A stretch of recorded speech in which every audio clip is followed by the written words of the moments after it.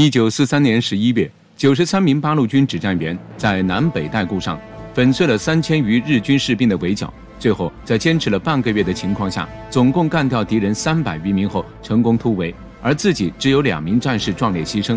这支部队是如何打出神剧都想不出的战斗的？接下来，让我们回顾历史，一探究竟。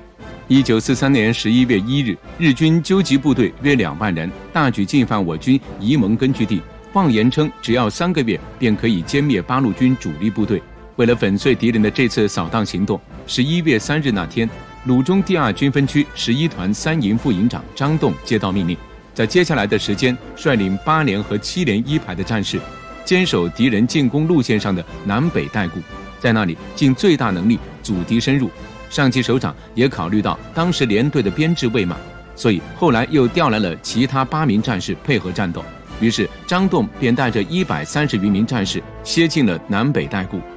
南北代固坐落在蒙阴城东北一带，南北两座山固之间的距离约为一点五公里，并且在二者之间只有一道山梁，四面全都是陡峭的崖壁。只在南代固一面有一条崎岖的山路。不仅地理条件得天独厚，而且广大军民在抗战之初就在固上修筑了工事，这也为接下来的战斗打下了基础。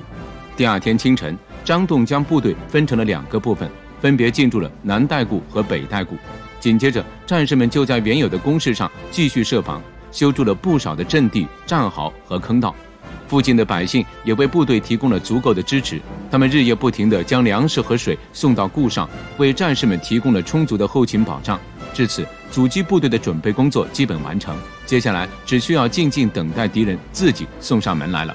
十一月十日拂晓，敌军的先遣部队来到了南北代固一带。张栋此时派出了几支袭扰小队，将敌人逐渐引到了自己的阵地附近。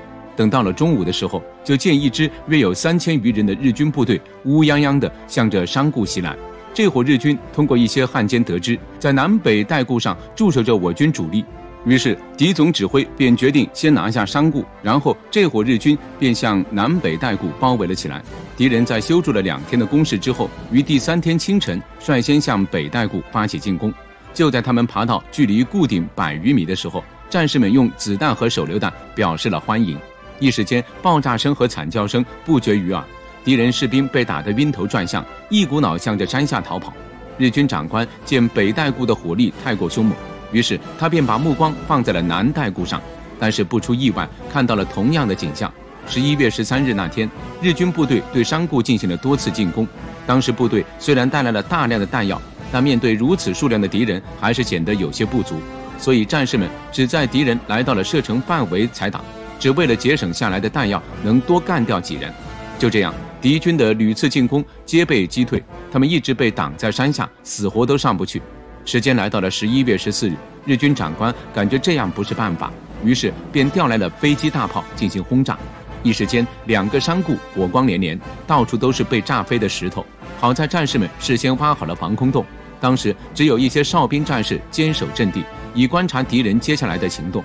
其他人基本上全都躲进了洞里，并且防空洞大多都修在悬崖上，那些炮弹也基本上对战士们不会造成什么影响。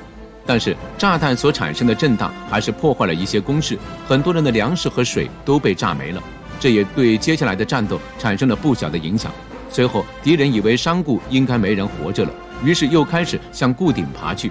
结果战士们又打出了无数的子弹，无论如何也打不上眼前的阵地。九天的时间过去了，日军部队还是没能前进一步。但是此时我军的弹药物资也基本用尽。为了接下来更好的战斗，上级首长果断命令七连一排撤下来，负责给八连的战士运输补给。至此，南北代固上只有张栋和九十余名战士了。日军长官可能发现了战士们缺乏物资，于是他命令部队在周围设立了大量的关卡，想把八连活活饿死在固顶。此等情形可难不倒一排的战士们，他们将大量的物资背在身上，等到晚上在敌人的眼皮底下穿梭迂回。硬是在接下来的七个昼夜，给八连的战士送去了足够的武器弹药。这伙日军见始终没能攻克南北代固，最后竟气急败坏地使用了毒气攻击。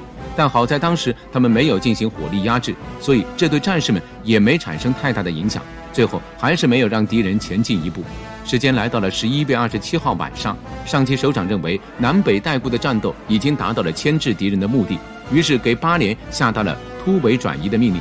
最后，在第二天午夜时分，战士们通过绳索悄咪咪地来到了故乡，然后在接下来的时间冲破了敌人的封锁线，在拂晓时分与主力部队顺利会合。至此，北代固战斗进行了十五天时间，干掉了三百多个敌人士兵，自己只有两人在激战中壮烈牺牲，并且成功的冲破了敌人的包围，彻底取得了战斗的胜利。